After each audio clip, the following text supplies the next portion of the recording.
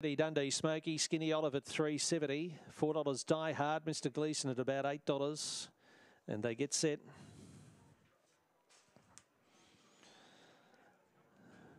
So they're coming up well in the back straight. Late scratching here of number three got the lot on the field. Come up for the Inter Plumbing Sprint Final. Green light is on. 4:35. Stand by for a start. Set.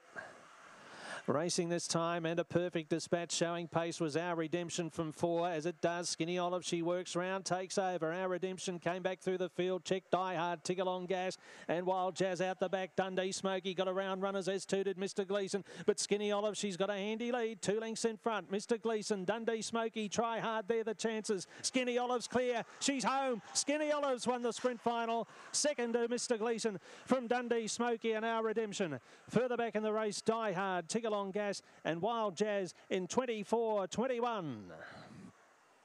The little star of the track, Skinny Olives, done best. Once she leads, she's awfully hard to run down, and she had some big guns chasing hard tonight, but they haven't been able to pick up Skinny Olive, who's now had 42 starts for 20 wins and 17 minor placings.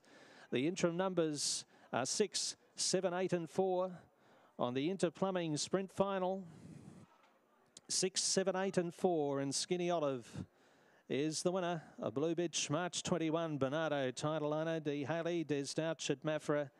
And